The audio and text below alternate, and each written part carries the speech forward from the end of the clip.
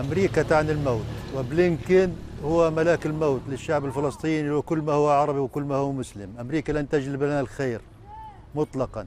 وكل متوقع لا خير من أمريكا ومن بلينكين ومن بايدن ومن ترامب حتى فهو واهم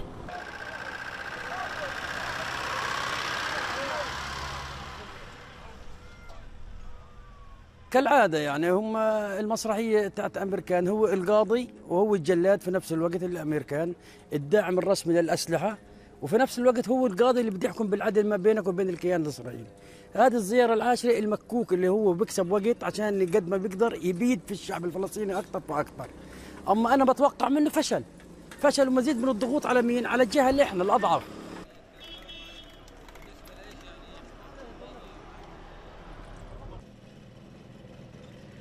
نتمنى من الله إنه يكون المرة هذه وقف لاطلاق النار بالكامل.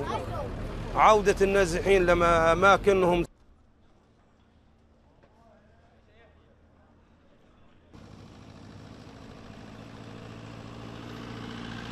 كل المنطقة التي يطلق عليها آمنة أصبحت كأنها منطقة عملية منظمة.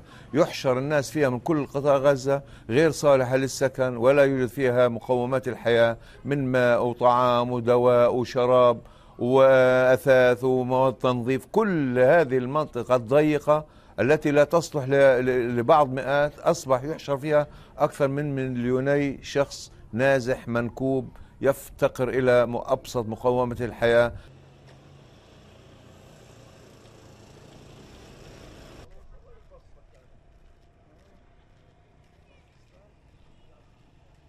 قاعدين مشردين وين ما كان.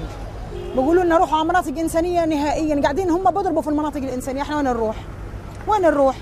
كل العالم والأمة كلها انحشرت هنا على المواصل وين بعد المواصل نروح؟